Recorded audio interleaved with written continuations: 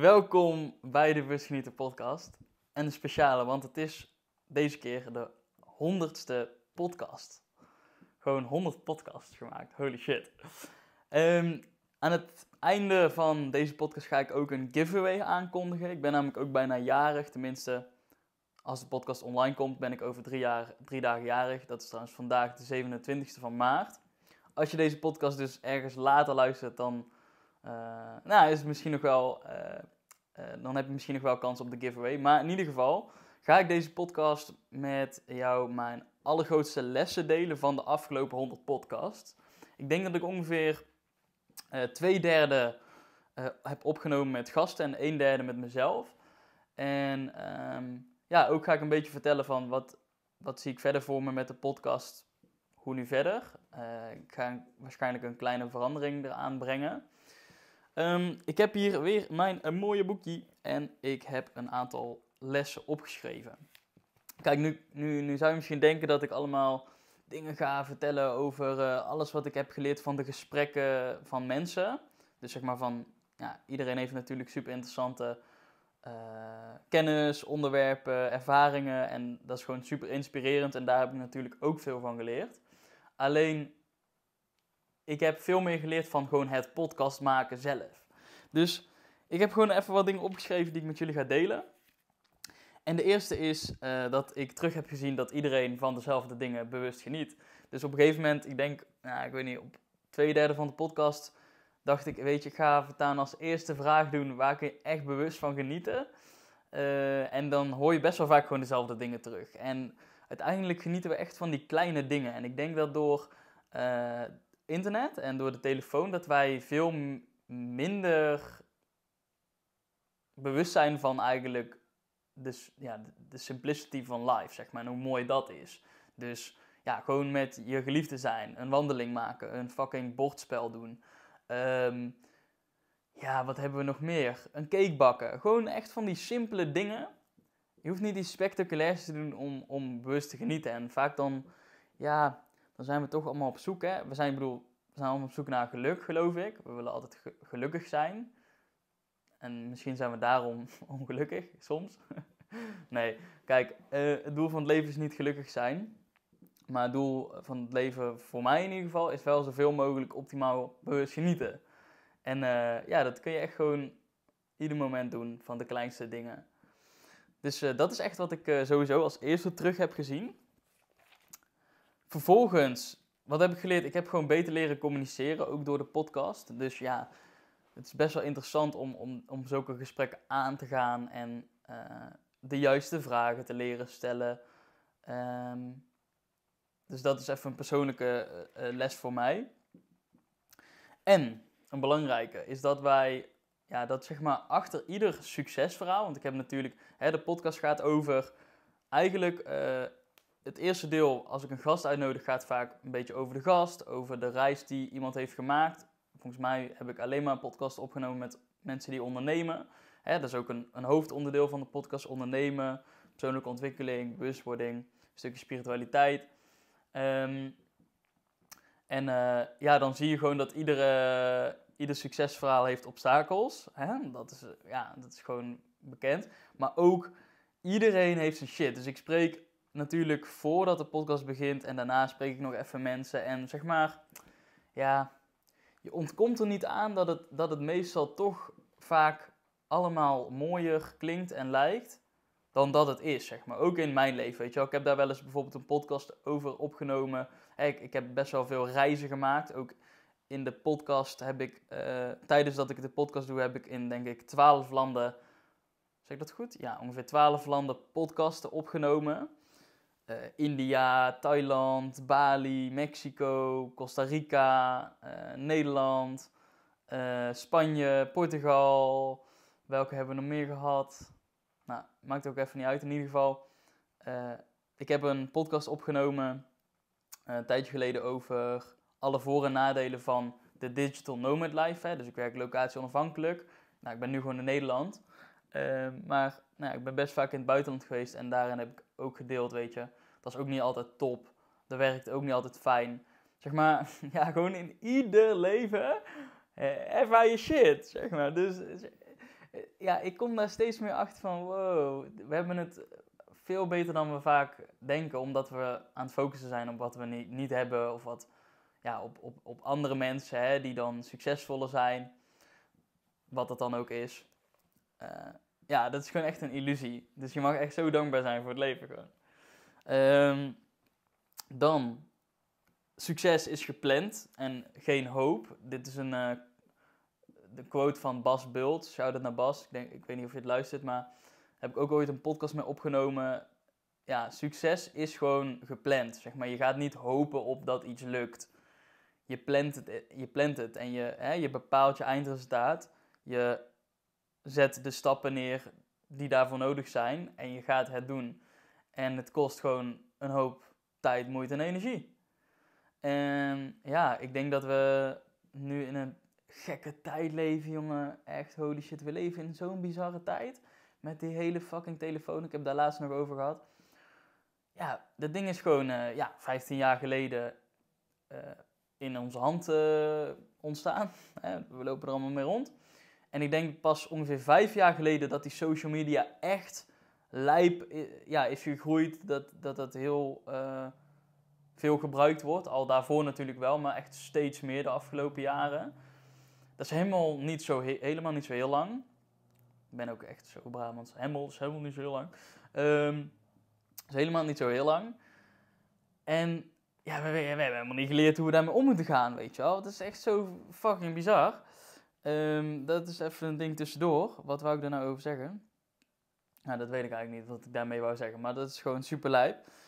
En ja, dat is gewoon iedere keer wat ik terug, terug heb gezien. En wat ik ook terug heb gezien is dat van alle verhalen van mensen die ondernemen en iets op gaan bouwen, dat, ja, dat iedereen gewoon het gaat doen, zeg maar. Dus je moet, je, je moet gewoon een bepaalde wilskracht en een drive in je hebben. En die ontstaat ook wel gewoon vaak uit pijn. Uh, ja, en die kun je dan op twee manieren gebruiken. Je kunt de pijn gebruiken van, oh, ik ben zielig en het leven is kut.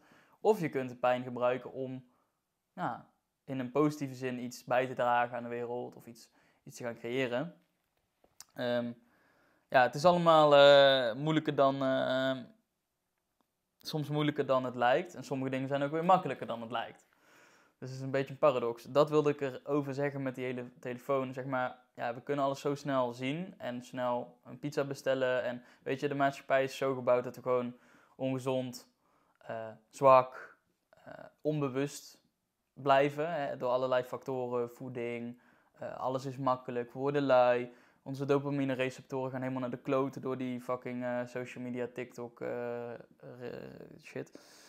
Um, en ja, het, het lijkt alsof alles makkelijk is omdat we heel veel dingen makkelijk kunnen krijgen en tot ons kunnen nemen. Maar bij een heleboel dingen werkt dat nog steeds niet zo. Bijvoorbeeld een bedrijf opbouwen. Ja, kijk, je hoort natuurlijk ook in andere nou, volgens mij heb je dat bij mijn podcast ben ik daar niet zo van. Ik ben juist meer van, hè, wat is het verhaal? Maar uh, weet ik veel. Je hebt ook lotgenoten podcast en zo en andere podcasts. En je uh, gebruiken ze natuurlijk spicy titels van uh, zoveel maanden zoveel geld verdiend of dit opgebouwd.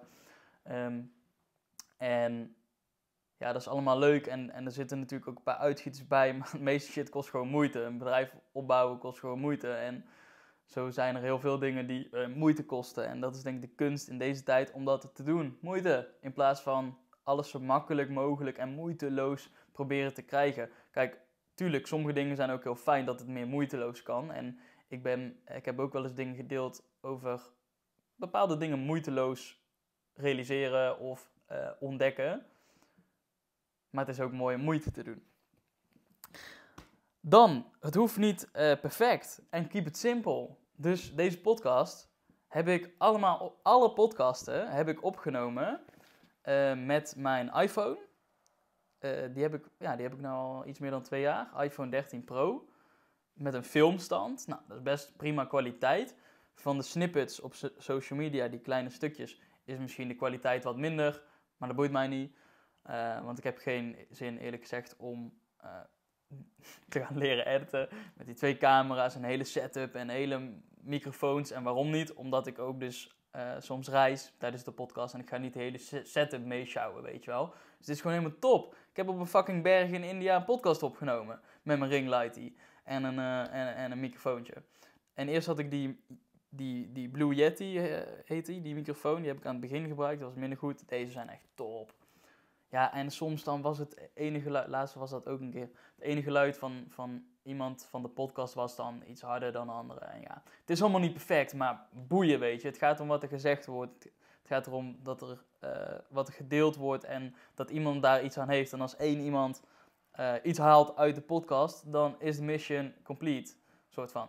Het is natuurlijk wel de bedoeling dat er meerdere mensen uh, tot actie komen of een inzicht krijgen. Dat zal ook wel gebeuren. Maar ja, gewoon keep it simple. Ringlight, bam, microfoontje en een iPhone. Ik vind dat helemaal top. En ook met, ja, met de banners. Kijk, ik, ik kan allemaal nog wel uh, lijp gaan upgraden in nog betere kwaliteit. En misschien zal ik dat in de toekomst ook wel doen. Maar ik vind het voor nu wel goed zo. En ja, het hoeft niet perfect. Dat heb ik ook wel geleerd door de podcast. Soms, ja, sommige podcasts zijn ook gewoon veel minder goed dan de andere. Ja, en daar leer je weer van. prima. Um, even kijken. Oh ja, dan Kijk, ik heb natuurlijk heel veel uh, ondernemers gesproken en daarvan heb ik ook een aantal miljonairs gesproken. En dat is iets wat me ook uh, goed is bijgebleven. Dat, ik heb volgens mij vier mensen gesproken die miljonair zijn geworden en een miljoenenbedrijf runnen. Um, en drie daarvan, één daarvan hebben we het trouwens niet over gehad, maar dus die andere drie waar we het daarover hebben gehad, beschreven ze allemaal dat eigenlijk een tijd waarin ze ja, eigenlijk bijna geen geld hadden en, en heel anders leefde of ja, gewoon heel eigenlijk simpele leefde, zeg maar. Dat dat toen de tijd was dat ze het meest gelukkig waren. En dat opende ook wel weer mijn ogen van, ja, weet je wel. Zo, eh, klinkt natuurlijk allemaal interessant, maar ja, nogmaals weer gewoon, het, het, het leven hoeft niet spectaculair te zijn om daar volle bak van te genieten. Echt niet. En dat is ook wat ik echt heb geleerd. En ook heb ik geleerd dat in contact komen met iemand echt veel makkelijker is dan je denkt. Kijk, ik heb natuurlijk, uh, ja, zeker aan het begin ook toen ik nog wat kleiner was en zo, uh, als podcast zijnde en uh, qua volgers en bereik. ja, ik ben gewoon allerlei mensen gaan benaderen. Ik ben video's gaan sturen. En ja, je kunt gewoon iemand een bericht sturen, weet je wel. Uh, je kunt ook bijvoorbeeld, dat hoorde ik volgens mij zelfs in een podcast van mij of in een gesprek van tevoren of daarna, dat weet ik niet. Maar iemand had toen, uh, iemand, iemand kende iemand die, hoe heet hij? Bill Gates. hij had gewoon afspraak met Bill Gates kunnen maken. Duurde allemaal wel wat langer, maar je kunt veel meer dan jij denkt als je niet zo in beperkingen denkt en het gewoon gaat doen. En um, ja, ja, dat. Ja, en dat is eigenlijk wel in een notendop wat ik allemaal heb geleerd uh, van het podcast opnemen zelf. En natuurlijk zijn er veel meer lessen, maar ik denk dat dit wel de grootste zijn. Maar ik ben vooral benieuwd wat, wat jij als luisteraar, misschien luister je pas net of misschien luister je al de hele tijd. Ja, wat zijn nou jouw grootste inzichten of lessen? Of, ik ben eigenlijk benieuwd, wat is voor jou het belangrijkste of het waardevolste wat jij uit de podcast hebt gehaald? Waarom luister je ze? Ik vind het echt super leuk om dat te horen en heel interessant. En ja, ook onderwerpen waar je meer over zou willen horen of bepaalde gasten die je wil langs zien komen. Stuur me alsjeblieft gewoon een bericht, want dan gaan we dat regelen. En ik vind het leuk om dat te horen. Um, ja, dat is, dat is eigenlijk wel uh, een beetje wat ik zo heb geleerd. Nu heb ik natuurlijk een heleboel gasten gesproken. En um, ik heb ook nog wel meerdere gasten op de planning staan. En ook mensen die ik nog wil gaan benaderen. Maar uh, ik heb ook al eerder in de podcast aangegeven dat ik een aantal podcasten, of wat meer, meer podcasten met mezelf ook ga doen. Omdat ik wel tof vind. En ook wat kortere podcasten. Uh, ja, eerlijk gezegd ook wel gewoon een beetje omdat de spanningsboog, zeg maar, gewoon minder lang is. Het is echt zielig eigenlijk. Gewoon dat we als mensen gewoon een minder grote spanningsboog hebben. Dat we niet zo snel meer een uur naar een podcast kunnen luisteren. Terwijl het misschien hartstikke interessant is. Maar ja, door dus hè, die social media en zo en zo snel afgeleid, maar ook um, ja, dat we gewoon niet meer het concentratievermogen hebben wat we bijvoorbeeld een paar jaar geleden hadden. Dat is best wel lijp. Ehm, maar ik zit er ook aan te denken. Ik heb natuurlijk wekelijks een podcast geüpload voor een lange tijd. En ik voel een beetje van ja, misschien wil ik daar iets soepeler in zijn. Omdat ik soms ook wel eens had van ja, zeg maar, kijk, ik geloof in consistentie en gewoon iedere week uploaden, bam. Ehm, maar ja, soms dan voelt het ook wel een beetje van, ik moet een podcast opnemen, weet je wel. En dan komt het denk ik niet helemaal vanuit de juiste energie. Uh, en ik wil gewoon een top podcast neerzetten. Dus dan maar liever een keer een week geen podcasten. Dan heb je nog nu honderd andere podcasten die je terug gaan luisteren. Um, en dan een ja, gewoon echt goede podcast vanuit de juiste energie. Dus ik weet dat nog niet. Ik ga in ieder geval, nou nu bij deze heb ik dus besloten dat ik waarschijnlijk niet meer vast iedere week een podcast ga uploaden. Wellicht de komende weken, ja waarschijnlijk de komende weken nog wel, omdat ik een paar op de planning heb staan. Maar het kan ook zijn dat ik eens een keer één of twee weken ertussen laat voordat ik weer een nieuwe podcast upload. Uh, dus dat voelt eigenlijk wel heel chill om dat even nu zo te besluiten in deze podcast. En nou, dan hebben we daar ook een uh, giveaway. Oh ja, en ook even een terugblik. Wat ik allemaal heb mogen ervaren en wat eigenlijk allemaal is gebeurd rondom bewust genieten. Kijk, ik ben nu uh, drie jaar geleden gestart met bewust genieten. Ja, nee, ja, wel drie jaar. Drie jaar en, uh, en, en 27 dagen vandaag. Of 26 dagen. 1 maart 2021. Toen ben ik bewust genieten Instagram gestart. Na negen maanden ben ik mijn bedrijf gestart en toen ben ik ja, ik weet, ik weet niet of ik toen al de podcast ben gestart. Of later. Maar in ieder geval iets meer dan twee jaar of tweeënhalf jaar. Nou jongen, sinds de podcast jongen. We zijn, hè, zoals ik net vertelde, superveel landen hebben podcasts opgenomen. Superveel interessante mensen mogen spreken. Um, ik heb uh, ondertussen vier evenementen gegeven. Echt iets van 200 tot 300 mensen bij elkaar mogen brengen. Ja, ja zeker wel minimaal 250 mensen uh, ja, gelijkgestemden zeg maar, bij elkaar mogen brengen door middel van de evenement, wat super gaaf is. Ja, wat echt mega vet is ook om te doen. En die komen er natuurlijk nog twee aan, 11 mei en 6 en 7 juli. Uh, dit jaar. Dat zijn de enigste die we gaan geven. Nou, ik, ben, uh, uh, ik heb ondertussen over de, ruim over de 100 mensen mogen helpen, jongvolwassenen, naar meer richting energie en levensvreugde in hun leven door middel van de 1 op 1 trajecten en het programma wat ik aanbied. En uh, nou ja, nu sinds kort, sinds een paar maanden geleden, ben ik dus de Levensgenieters Community gestart. Voor als je dat gemist hebt. Ik heb er redelijk wat over gedeeld. En uh, ja, dat is geweldig man. Dat, daar zie ik zo'n uh, zo'n lange termijn visie in en potentie in. En dat is ook aan het groeien nu. En wat er nu allemaal is ontstaan daaruit is echt prachtig. Um, en ik denk dat ik daar nog even een keer een aparte podcast over ga opnemen. Over wat het precies is, voor wie dat is, wat het is. Uh, en dan komen we nu denk ik toch aan bij de giveaway. Oké, ja, ik ga dus nog niet zeggen wat, wat ik weg, weg ga geven. Maar ik ga vijf dingen weggeven. Want ik word 30 maart 23. Um, en 2 plus 3 is 5. dat slaat natuurlijk helemaal nergens op. Want het, ja. Oké, maar we gaan in ieder geval vijf dingen weg, weggeven. En ik ga niet zeggen wat het is. Maar ik ga het ook weggeven, niet nu. maar ik ga me alvast aankondigen, zoals ik zei. En dat is dus op mijn verjaardag, aankomende zaterdag. Nou, als je deze podcast later luistert, ik denk dat ik uh, of binnen 72 uur of binnen een week de giveaway bekend ga maken. Dus hou mijn Instagram in de gaten. Je maakt kans op vijf dingen, dus nou, best wel grote kans dat je iets gaat winnen. In plaats van dat ik één iemand blij maak, vijf mensen. En het zijn allemaal verschillende dingen.